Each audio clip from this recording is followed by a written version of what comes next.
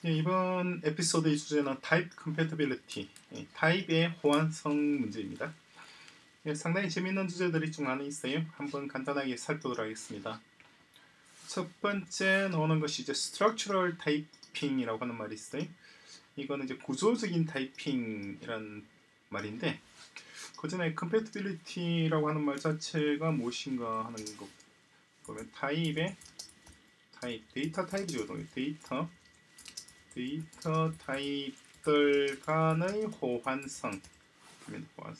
상호 간의 교환할 수 상호 대체 가능성이죠. 또는 또는 상호 대체 가능성. 이런 것들.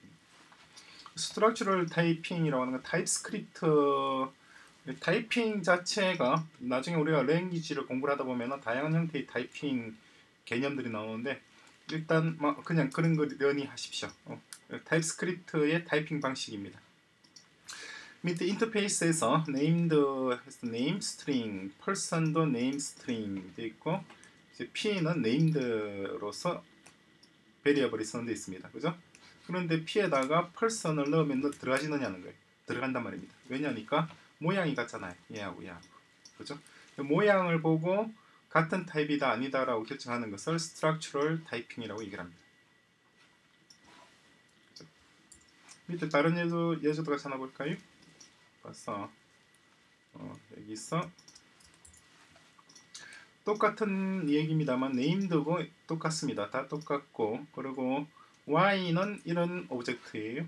그죠? 그러면 x에다가 y를 넣을 수 있느냐는 겁니다. 된다는 거죠. 지금 x 같은 경우는 name과 string이고 y는 name에다가 location도 있잖아요. 그럼에도 불구하고 넣을 수가 있습니다. 그래서 타입 완성에서 신경 쓸 거는 하나만 신경 쓰시면 됩니다.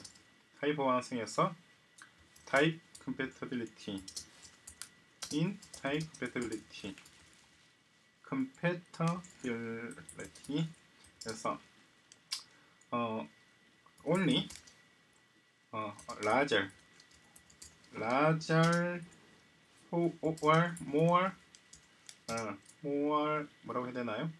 음, 오브젝트라고 하죠. 음, can substitute substitute 어, 어, smaller or less object. 그러니까 큰 것이 작은 것을 대체할 수 있습니다.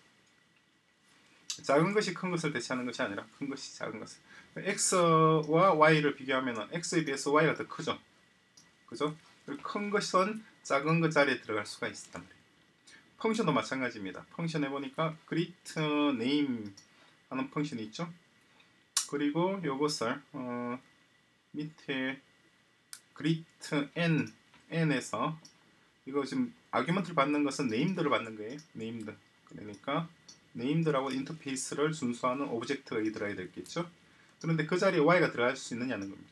들어갈 수 있다는 거죠. 왜냐니까 얘는 작잖아요. y가 더 크죠. 큰 것이 작은 것 자리에 들어갈 수가 있다. 이해되시나요? 그것이 컴패티빌리티의 가장 기본적인 알고리즘입니다. 남는 것은 괜찮지만 모자라는 것은 안 된다는 거예요. 밑에 있는 것도 하나 더 볼까요? 이번엔 펑션의 경우인데 펑션의 경우는 반대입니다. 펑션은 어, 펑션 펑션 is the uh, reverse of the above 무슨 말이냐니까 어, 적게 주는 건 괜찮은데 많이 주는 건 안 돼요. 그러니까 많이 요구하는 것에 많이 요구하는 상황에서 적게 주는 건 괜찮지만은 적게 요구하는 상황에 많이 주는 건 안 된단 말이에요. 거꾸로입니다. 좀 전에 봤던 것과. 지금 보면 x가 있고 y가 있죠. x는 a라고 하는 하나의 아규먼트를 요구하는 펑션이고 y에는 b와 s 두 개의 아규먼트를 요구하는 펑션이 들어 있습니다. b가 더 많이 요구하는 펑션이죠. 그죠? 그러한 y의 자리, 어, b가 아니라 y죠. y 자리에 x가 들어가는 건 되지만은 x 자리에 y가 들어가는 건 안 된단 말이에요. 자, 지금까지 우리가 살펴봤던 것과 정반대입니다. 왜 그런지 한번 생각을 해보시면은 뭐 쉽게 이해할 수가 있습니다. 예를 들어서 아이템 1, 2, 3이라는 게 있단 말이죠. 그리고 밑에 forEach가 있습니다. forEach에서 얘는 지금 세 개의 argument를 받아서 console log 아이템 하나만 아이템을 console log 하는 거예요. 쓰이는 거는 아이템 하나밖에 없습니다. 뒤에는 두 개는 안 써요. 그죠? 또 밑에 있는 경우는 뭐죠? 아이템만 받아서 아이템만 컨솔로그 하는 거죠.